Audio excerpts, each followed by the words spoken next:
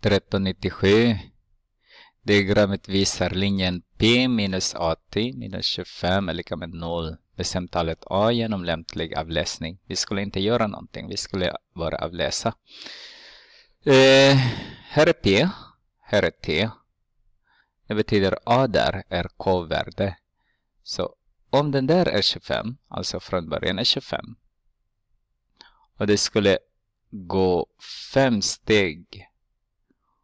Och varje steg också i Y är fem. Så fem steg till höger och fem steg neråt. Vad det betyder? Det betyder att ni har A som är K-värde. A som är K-värde just nu. Är lika med fem steg neråt. Det måste vara negativ 5.